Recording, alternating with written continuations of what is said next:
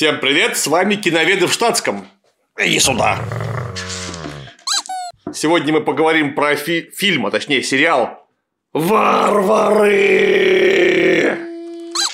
который произвел германский Netflix. Я бы не стал бы записывать про него никакого обзора, если бы мне не написали.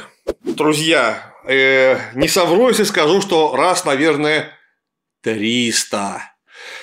Потому что все почему-то думают, что я люблю варваров. А я вроде не люблю варваров, я скорее больше римлян люблю. Ну, ладно, бог с ним, варвары так варвары. Будем разбираться, поехали.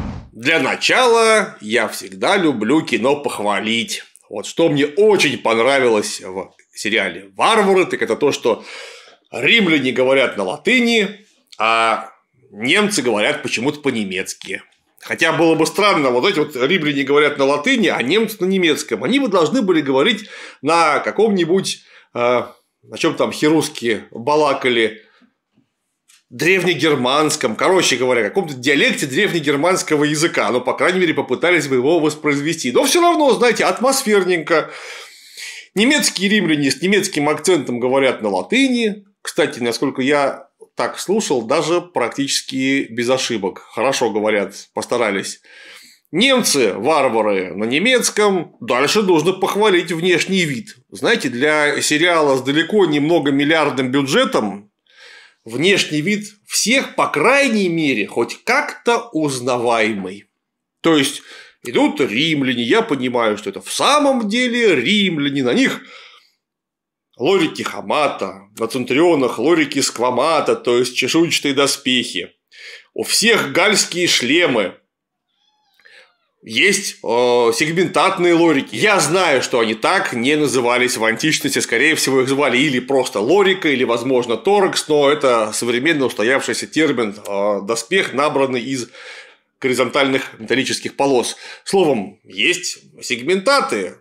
Хорошо, ведь речь-то идет как раз о в начале первого века, как раз тогда, когда эти доспехи начинают появляться, при этом легионеры не все как от одной мамы от копипащины, они все разные, как оно и было, судя по всему, э, в реальности. Вот у того кольчуга, у того чешуя, у этого лорика сегментата, то есть есть некий разнобой, нет вот той самой уставщины, как мы представляем себе римскую армию, потому что мы думаем, что это армия в полном современном смысле. Нет, это, конечно, было далеко не так. Тем более, э, на самом э, излете республики и начале принципата. Это все происходит во времена жизни Гая Октавиана Августа. О чем сериал? Сериал да, о Тевтобурском лесу, о том самом знаменитом сражении, которое, как считается, прекратило экспансию э, римлян за Рейн. И вот таким образом немцы смогли отстоять свою независимость.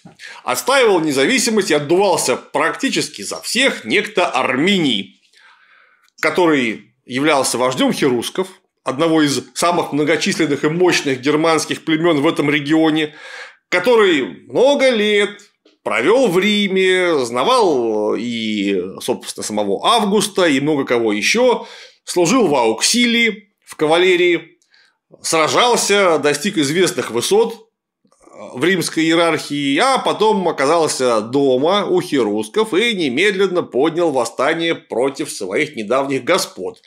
И вот, смотрите, отлично зная, как устроена римская военная машина, смог заманить Квинтилия Вара с тремя легионами в Тевтобурский лес и там в дребезги расколошматить, после чего принцепс император Гай Октавиан Август стучался, говорят, головой об стену и говорил «Вар-вар, отдай мои легионы», от чего в стене довольно быстро образовалась варварианская брешь.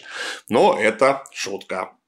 Однако идея такая, и в общем-то в фильме она отражена в полной мере. То есть есть Квинтилий Вар, есть Армений, который перебегает с, с римской стороны на сторону херусков, соединяет вокруг несколько германских племен, заманивает римлян, притворяясь своим, в Тевтобурский лес, и там их побеждают. Квинтилий Вар очень жалостно бросается на меч с печальным лицом, а, под печальные римские звуки.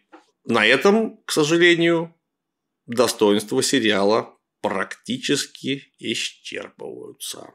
Ах да, я забыл. Перспективную жену э, Армения Тушнельду играет очень симпатичная немецкая актриса. Это, конечно, дело вкуса, мне зашла.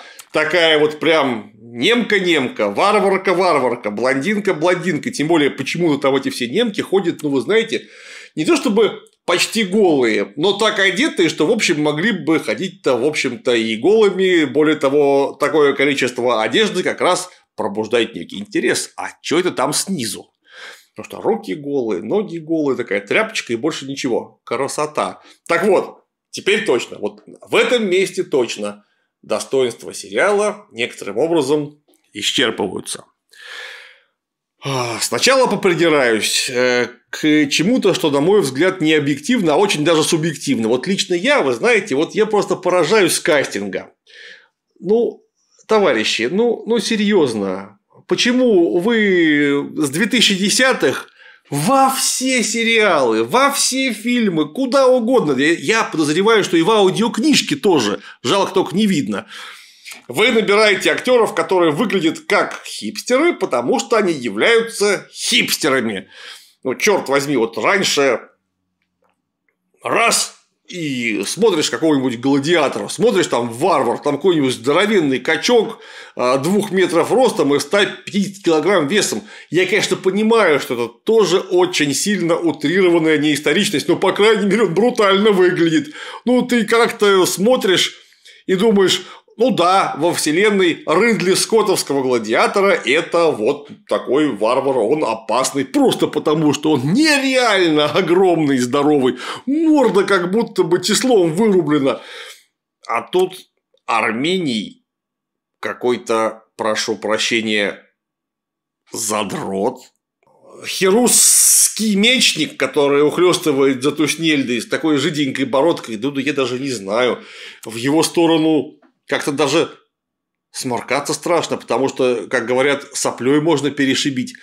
И бог с ним с внешним видом. Я отлично знаю, не нужно мне этого говорить, что люди в древности были сильно, как правило, меньше, чем сейчас. И в смысле огромности мускулатуры, как правило, тоже очень сильно уступали современным завсегдатаям спортзалов. Ну, просто питание у них было несколько иное, и физические нагрузки были заметно не такие. Они такие сухонькие были, небольшого относительно нас роста. Вот не надо мне об этом напоминать. Я в курсе. Но как они выглядят, это вопрос номер два, хотя тоже важный. Уж могли бы как-нибудь загримировать, камеру под нужным углом выставить, тут свет включить, там выключить. Кино же, ё-моё, искусство визуального. Как они себя ведут? Ну, сильная независимая тусь, Туснельда, которая постоянно говорит, что вот не хочу идти вот замуж за этого, морда у него противная. Хочу идти вот замуж за этого. У него морда не противная. Я сейчас даже не буду говорить о том, что бы с ней сделал ее личный папа, вождь племенной в данном регионе. А что будет с ней сделать? А ничего бы он с ней не сделал, потому что ты можешь хотеть тетенька замуж идти за кого хочешь, а пойдешь ты только за того, о ком договорятся твои племена, потому что это не просто брачный, это политический союз. И уж, конечно, так бы это, как современная сильно независимая женщина, без детей с восьмью котами она бы выступать точно не стала, потому что это люди были совсем другие. Ну, то есть, вообще, вы хоть попытались бы стилизовать, что ли, их поведение, если уж вы кастинг провести не можете. Римляне, вот, пожалуйста, Квинтилий Вар. И выглядит он, прямо скажем, неубедительно. И ведет он себя не менее неубедительно. Квинтилий Вар – это было чудовище. Я думаю, что 90 5% наших современников, оказавшись таким человеком в одной комнате, до того, как он открыл рот, поспешили бы покинуть помещение, в том числе через окно. С рамой на ушах. Это сосед включил дрель, извините, победить это невозможно. Как только мы начинаем снимать, рано или поздно просыпается сосед с дрелью, он хочет сверлить. Где он живет, мы не знаем, поэтому договориться не получится, поэтому придется потерпеть. Так вот, Вар был страшным человеком, по-настоящему. Он совсем недавно подавлял мессианское восстание, будучи римским наместником в провинции Сирия. Он заходил в Иерусалим. Он вот так вот одним движением пальцев приказал распять две тысячи иудеев на крестах вдоль дорог. Вы понимаете, что это был вообще за человек?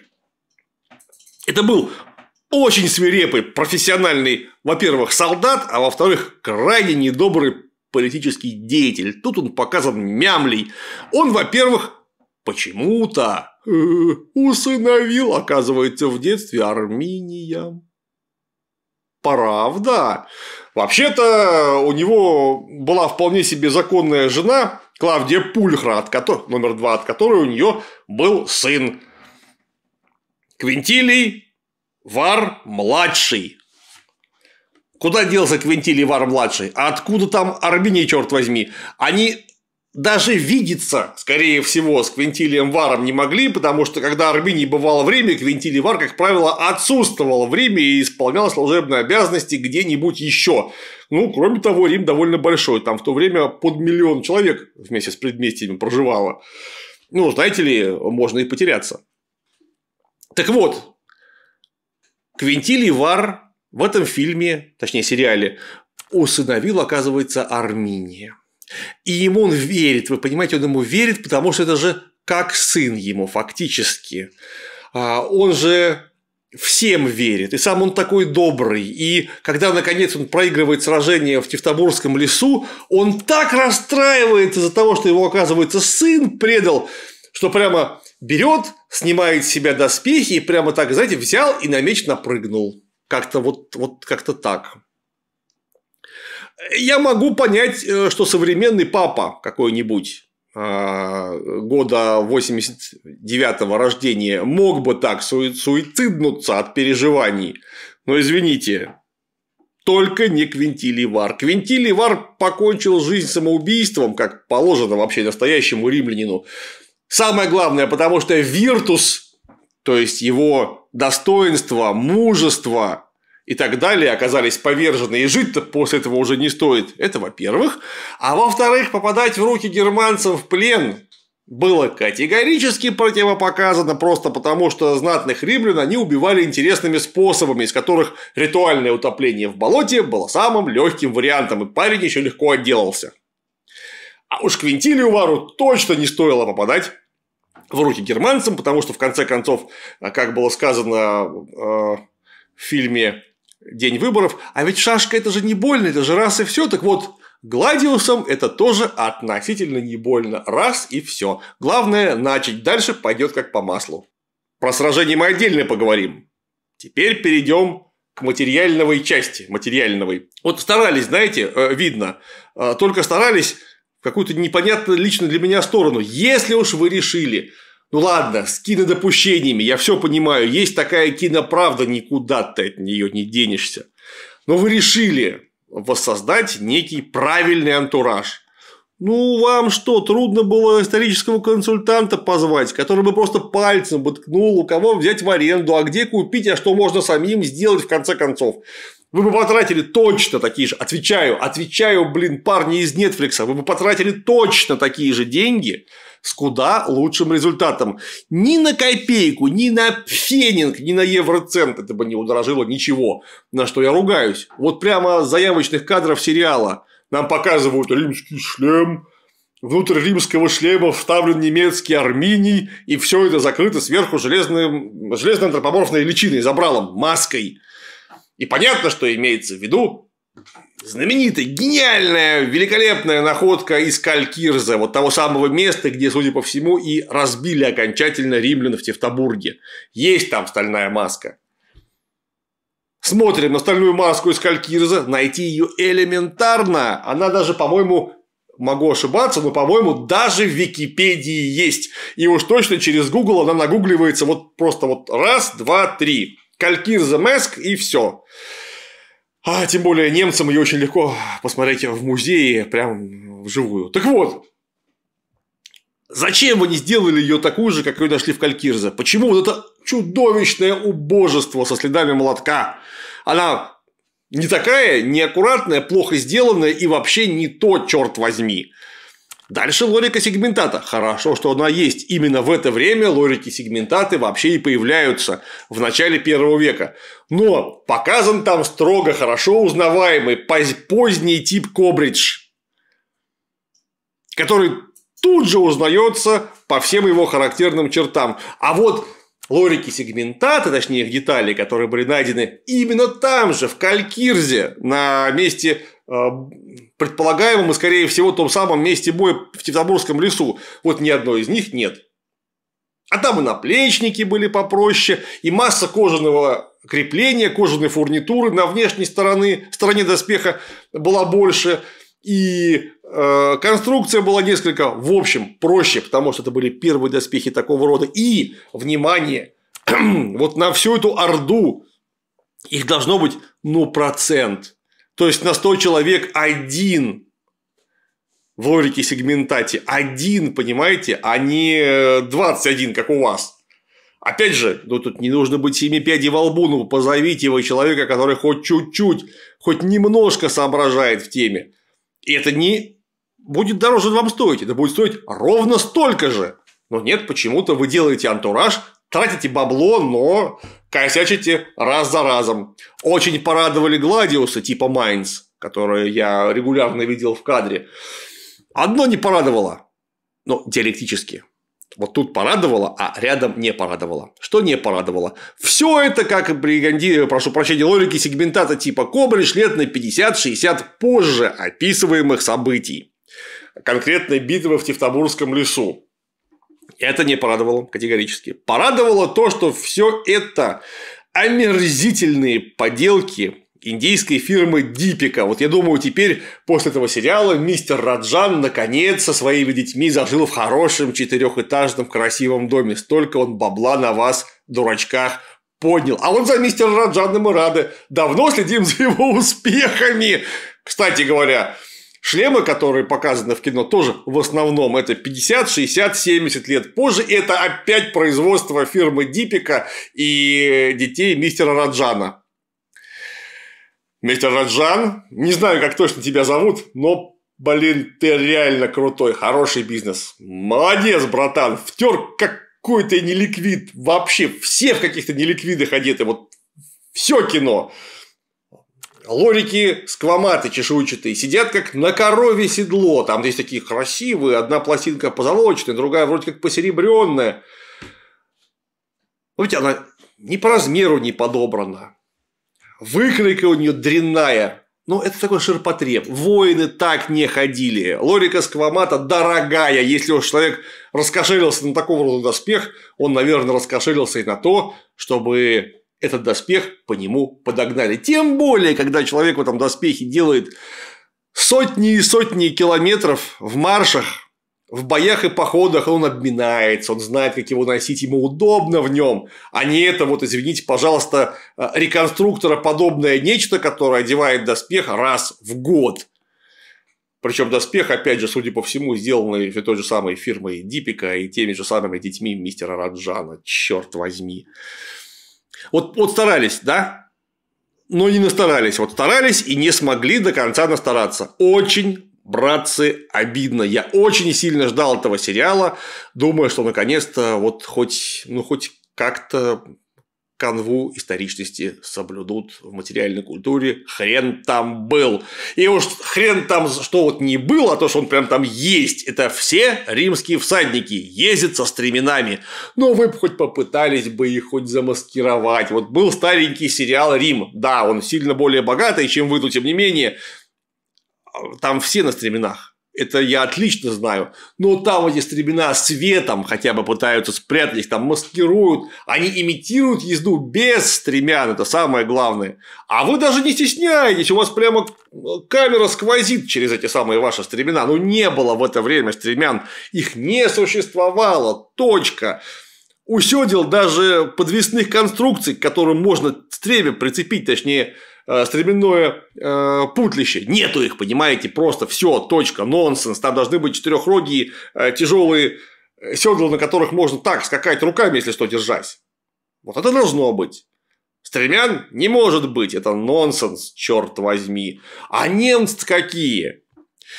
А, ну да, я понимаю, что, наверное, немцы все-таки не были такие лихие и крутые модники, какими были кельты соседние. Все-таки, ну, победнее они были. Там и земля победнее, и ремесло у них победнее. Э, все у них, вот все, все как у кельтов, только труба пониже, дым пожиже, калибр потоньше. Воюют, правда, лучше, но это отдельная история. Это все от, как раз от нищеты. Терять нечего, потому что. Так вот, поплоше они выглядели, судя по всему, чем кельты. Но не как бомжи. Хотя я понимаю, что у них, видимо, да, это же уже время разложения родовой общины. И там, да, конечно, были не шибко богатые крестьяне. Но когда мне показывают какого-то дядю, который ругается со своей дочкой, я еще тогда не очень понял, что это та самая Туснельда, то есть принцесса Херусков вообще-то. Так вот, дядя ругается с дочкой, я думаю, какой-то бомж, ругается с дочкой бомжиха, и дочь как-то плохо одета, повторяюсь. Застежка здесь, петелька здесь, тряпочка спереди, тряпочка сзади. Она даже едва вот колени-то закрывает, руки голые. Ну, черт возьми, в Германии не так тепло. Там даже, знаете, зима бывает со снегом. Ну ладно, они бедные. И тут я выясняю, что это вождь племени вот так выглядит. И тут я такой... «Э, как-то плохо. Ну и, конечно, вождь племени, как и все вообще в этом сериале немцы, проживают в шикарных домах, которых, видимо, строил архитектор фильма «Викинги». То есть, между бревнами щели такие, что можно руку просунуть, а двери такие, что даже не руку можно просунуть в щель, а голову. Причем даже по диагонали. Ну и ворона, не складывая крыльев, легко туда впархивает.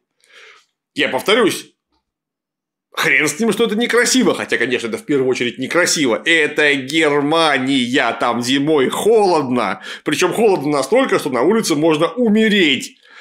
А вы прям берете и делаете дом, который от улицы не отличается вообще, черт возьми, ничем совсем. И дальше как такой контраст живейший наступает, вы понимаете, вот раз идет бомж, одетый как бомж. У него эта рубашечка короткая, которая э, колен не только не достает, она даже вот едва-едва эти самые, ну, вот эти самые бубенцы-то прикрывает щижиком вместе. Этот бомж говорит, там, эх, немцы мои варварские, давайте, короче, сделаем что-нибудь ужасное. И достает стальной меч. Но меч, конечно, выглядит у бога пипец, как я не знаю что, но это вот такая, сантиметров 75-80 полоса закаленной стали, которая весит, ну так, наверное, где-то килограмм. Это примерно то же самое, что килограмм золота в это время. Вот примерно так же. Вы понимаете, есть бомж, и у него изделие ценой в килограмм золота. Правда круто, а? То есть, нет, я, я, я понимаю, он все отдал, совсем все, остался в трусах и, блин, ох, с автоматом Калашникова в стразах от Сваровски. Но так же не бывает, вы понимаете, потому что если у него есть такой дорогой меч, он обязательно кого-нибудь ему бьет и все отнимет. И сразу станет в два раза богаче, а потом еще кого-нибудь, и опять станет в два раза богаче, потом убьют его, и он уже больше не будет отсвечивать. Все, это же очень просто было устроено. Дальше уже прекрасные, всякие гениальные гэги, которые мы посмотрели в этом сериале.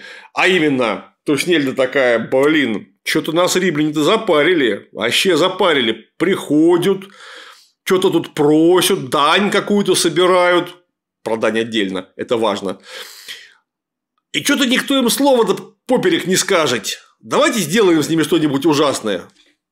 Давайте, говорят Э, их три, точнее, ейные три друга. Один ее жених, незаконный, тайный, и два его приятеля дебила. Говорят, давайте, а что мы сделаем? А давайте, говорит, мы ихнего орла из лагеря попятим. Я такой, то есть Нельда смотрела сериал «Рим», там такую же фигню, точно такую же фигню придумал где Помпей Великий с Юлием Цезарем провернуть, и примерно так же и провернул. Но единственное, что там какие-то разрисованные пастелью синие галы Аквилу воровали, а тут эти воруют, но эти воровали ее так, что лучше бы посл... взяли бы, наняли бы просто из сериала Рим синемордых галов, они бы вам это лучше исполнили, благо опыт у них уже есть. Как происходит по краже? Спойлер, спойлер.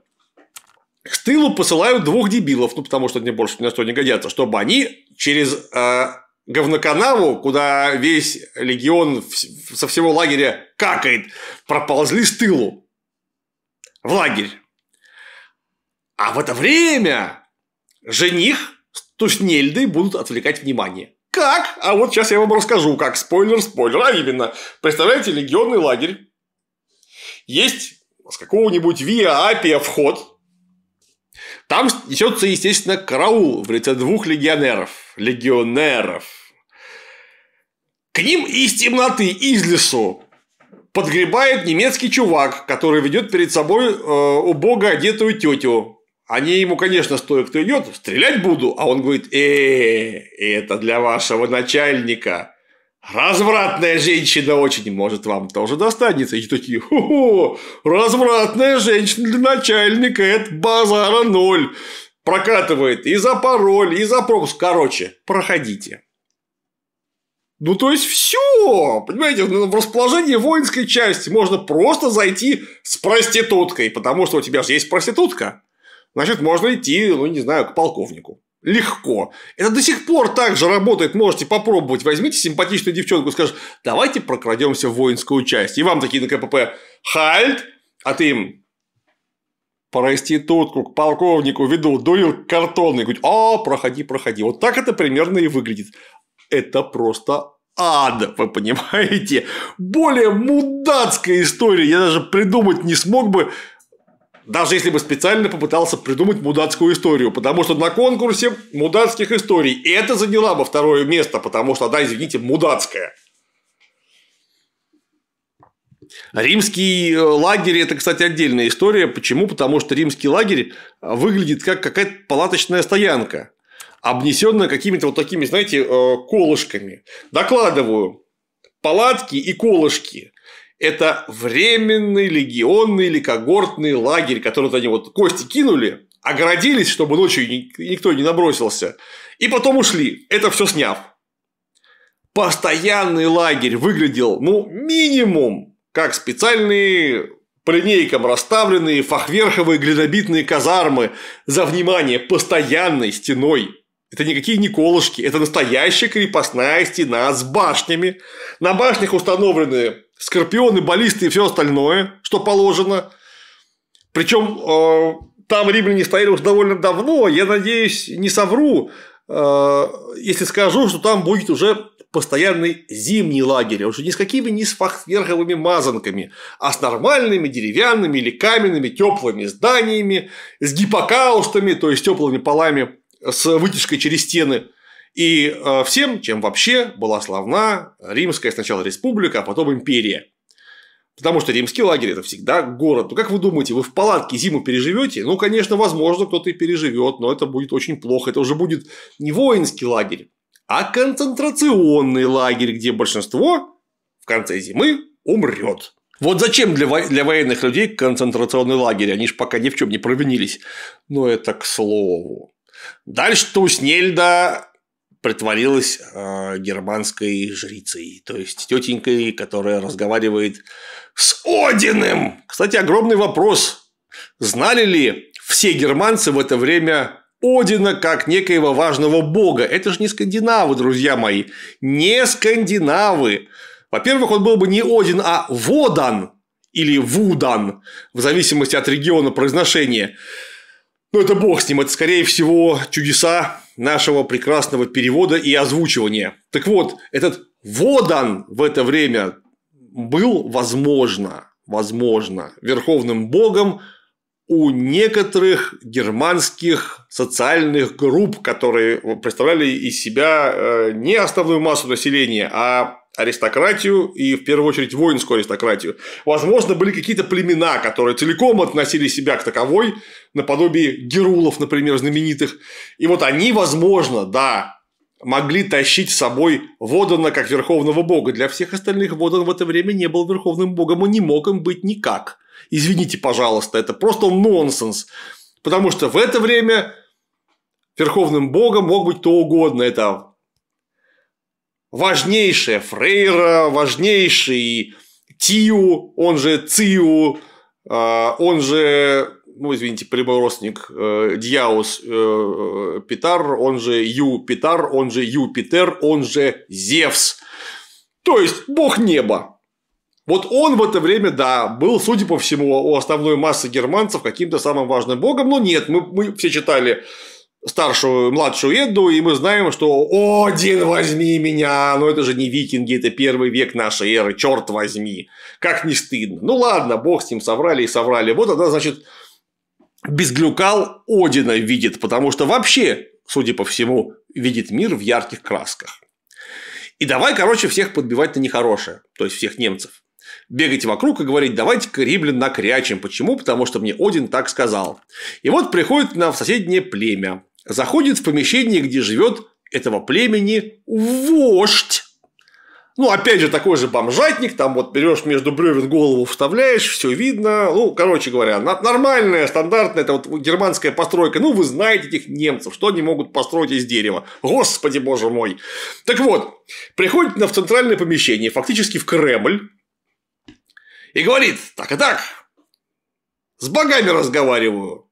Так хочет Бог. Деус вульт. Накрячем римлян. А вождь ей говорит, сдается мне, ты какая-то немножко того. Не пойдем с тобой никуда воевать. И вообще. А тут ее подручный, с которым она прибыла сама вторая, к вождю домой в гости посреди племени, которым этот вождь управляет. Вот этот подручный выходит у нее из-за спины и вождя закалывает насмерть. И говорит, это хотел так Один. И вы представляете, такие все, такие все единоплеменники говорят, да, слушай, ну в натуре, если Один так хотел, то и ок.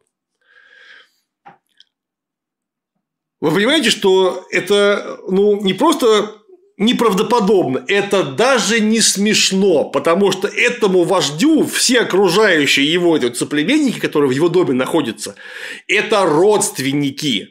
Или люди, которые породнились с ним через смешивание крови, это его дружина, они бы за убийство вождя, тем более вот так вот, они бы не просто порвали, они бы это делали долго, вдумчиво и э, с осознанием ответственности момента. Потому что что сделали эти два козла, прошу прощения, охреневших? Они нарушили закон гостеприимства. Для германцев, как для представителей в то время примитивной патриархальной культуры, это, наверное, один из самых чудовищных проступков, которые вообще можно сделать. Они же не просто вождя убили, они богам, вот тем самым, с которыми то вот тети якобы разговаривают, в харю плюнули, понимаете, прямо в доме, куда их пригласили, пустили. А значит, что? Ну, во-первых, придется сделать так, чтобы свежеубиенному старшему родственнику на том свете было хорошо. То есть их, скорее всего, будут убивать именно во время э, похорон этого самого старшего родственника. То есть нужно достойно сопроводить его при помощи их. А во-вторых, нужно богов, начиная с богов предков, это важнейшая составляющая, заканчивая верховными богами, как-то вообще-то умиротворить. То есть этих двух просто убить нельзя. Их бы долго и чудовищно пытали. И вообще-то дальше нужно было бы э, рассказ о Тевтобурском лесе переделать в какую-то очень жесткую BDSM слэшер муви картину. Вот так вот. Там так эпизодом на три, чтобы их убивали. Вот, вот, вот да. Но Однако нет, сказали все. А, это же Один, точно. Если Один сказал, то, пожалуйста, замочите вождя, еще кого-нибудь замочите, все, мы с вами, с вами точно. Ну, просто охренеть. А дальше у нас, наконец, этот самый Арминий решил переметнуться и переметнулся. А почему он переметнулся? Да, просто потому что его эту самую Туснильду, на которой он жениться хочет, понимаете, мучают. У них там римляне забрали какую-то корову с козой. Э, Ее братцу, по-моему, братцу, малолетнему, рукояткой меча по голове дали, и он немножко с ума сошел. В общем, ну, какой-то там геноцид, который делают очень плохой римлянин. Очень плохой. Э, дань, дань собирают, дань собирают постоянно, ну, товарищи. Э, дань а, римляне не просто собирали, они ее твердо устанавливали. Это во-первых, а во-вторых, собирали ее не римляне, собирали ее германцы у германцев. Римлян, римлянам сил бы не хватило, чтобы по всем этим германским лесам скакать и у всех, прошу прощения, отбирать еду. И уж тем более а ради этого не приехал бы Центурион. Центурион – это офицер, поэтому серьезный человек. У него есть чем заняться. Послали бы какого-нибудь опциона, который э, с десятком солдат просто ну, по договоренности пришел и забрал там 15 овец, 2 э, литра молока и 5 хлеба. Сыра не забудь купить. А, точно, и сыра, да, и сыра. Еще и сыра бы забрали. Вот. Но в основном этим занимались не римляне. Там были союзные германские сателлиты, которые ходили и собирали туда, они потом отвозили ее римлянам. Чем занималась, например, Москва в пользу монголов со времен Ивана Калиты. То есть собирала со всех дань. Это было чудовищно выгодно, потому что можно собрать немножко больше, а часть оставить себе. И уж прошу прощения, почему-то в фильме, в сериале не упомянуто самое главное. Почему вообще восстание стало возможным? Потому что никакое повышение дани, ничего вообще не подвигло бы немцев на восстание, и уж тем более на объединение, на соединенные совокупные усилия, если бы не Великое Иллирийское восстание. Вот да, там в Иллирии было очень сильно неспокойно, там лилась кровь, и только что 8 легионов снялись с Рейнского Лимиса и ушли. И на их смену пришел Квинтилий Вар, который никогда не воевал в этом регионе, не знал местного населения, не знал местных обычаев, всего с тремя легионами. То есть заметно меньше, чем в два раза исходного числа. Против восьми легионов никто даже головы бы не поднял. Поэтому, конечно, восстание Армения – это окно возможностей, которое открыло Великое Лирийское восстание, по сравнению с которым это вот германское выступление было ничтожно маленькой величиной, которая по чистой случайности из-за личностного фактора, незнакомого с регионом Квинтилия Вара, увенчалась настолько чудовищными для римлян результатами. Но нет, нет, нет, это вот ничего этого, просто у Армения сложно душевная организация, он немножко не такой. И вот родственники, а тут приемный папа Квинтилий Вар, и он с ними мечется между ними и все решает, нет, все, наконец, пойду я к родственникам, и с родственниками, и он за, родственников все предает, значит, он римлян, начинает свою тайную игру и заманивает их в Тевтобурский лес. И вот римляне идут по Тевтобурскому лесу, на них кто-то нападает. Нападает, кстати говоря, в стиле «Безумный Макс» под куполом грома, потому что все эти люди замотанные в какие-то звериные шкуры, в какие-то маски изберистые. Вы что, серьезно думаете, что германцы так воевали? Уж, по крайней мере, дружины вождей были снаряжены не хуже римлян точно совершенно возможно, если брать общий средний уровень, даже немножко лучше, потому что это вождь и его дружина. Да, простые общинники там, конечно, щит э, и копье с топором в лучшем случае, или там э, лук или метательные дротики, ангоны. Вот оно да. Но почему они все выглядят как какие-то индейцы из фильма «Последний из Магикан», а? Только еще и густо перемазанные медвежьим говном для красоты. Матерных слов не хватает, чтобы это все описывать. Так вот,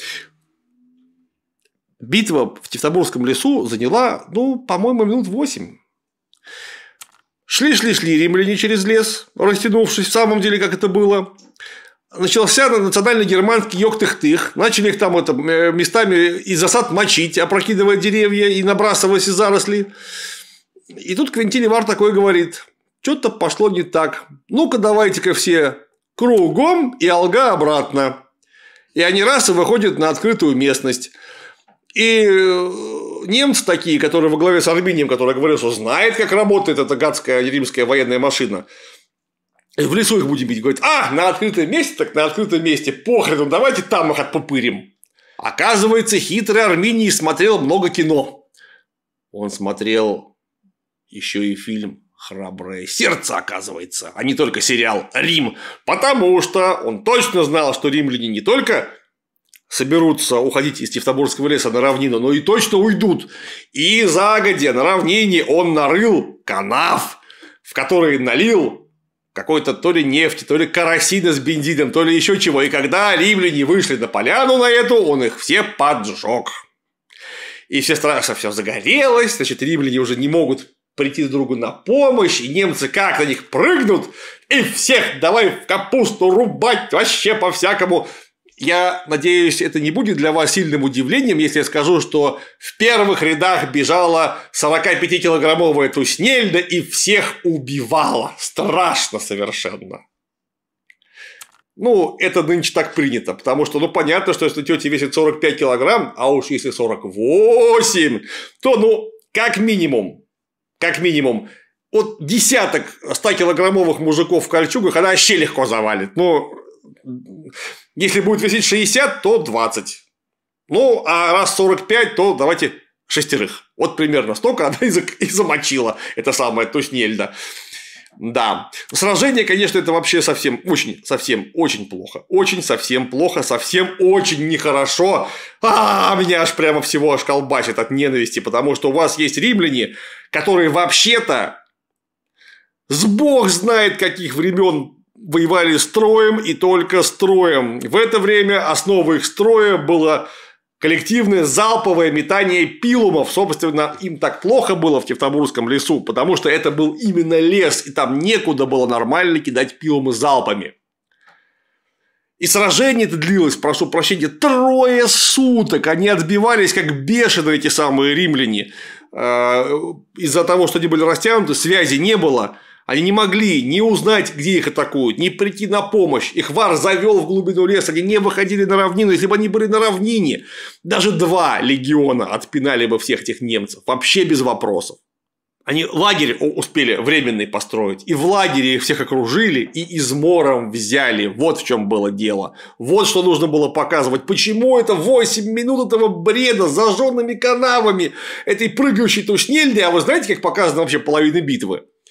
Сидит перед нами перекошенное э, лицо, да, я хотел сказать плохое слово, скажу хорошее, перекошенное лицо Арминия, который говорит, и вот ты думал, что оно будет так, а оно было это. Раз показывают там 30, 40, 50 секунд битвы.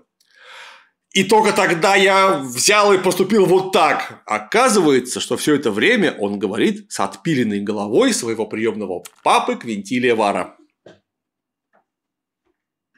Вот это я понимаю художественный ход, так художественный ход.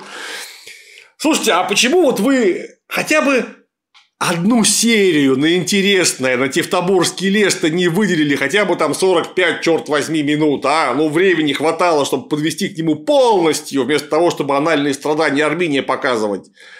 Это был тоже страшный человек Армении. Военный вождь Херусков – который прошел в римской армии огонь, воду и медные трубы, не был мямлей и размазней, который будет с отпиленной головой, кстати, полузнакомого человека э, и совсем не родственника э, разговаривать. Вы думаете, это сильный художественный ход? Разочарую. Он по-идиотски выглядит. Так вот, вы показали ахинею вместо реальной трагедии Тевтобурского леса, где погибло три легиона почти в полном составе. Кое-кто ушел. Когда говорят все погибли, нет, не все. А самое главное, вы как-то упускаете из виду во всей вот этой вот очень странной, то ли феминистической, то ли националистической, а может быть все вместе агитки, а, ну, где есть очень плохое, злое римское и очень хорошее, а, обмазанное медвежьим говном германское. Вот вы одно упускаете ровно, что все эти германцы во главе с Армением вот через 7 лет огребутся до детского голоса от римлян в битве при Эдиставизо где их там так им накидают, что просто мама дорогая, Армения успеет убежать как-то, хоть как-то успеет убежать, а Туснельду возьмут в плен, где она, собственно, в итоге и скончается. Кстати, а еще через несколько лет Армения зарежут, собственно, германцы, потому что задолбал, и что-то пошло не так. Наверное, это самые яркие впечатления, которыми я хотел с вами поделиться применительно к сериалу The Barbarians – варвары от немецкого подразделения Netflix. Если у вас очень много свободного времени, ну, тогда смело запускайте свои компьютерные устройства, подключайтесь к Netflix и смотрите.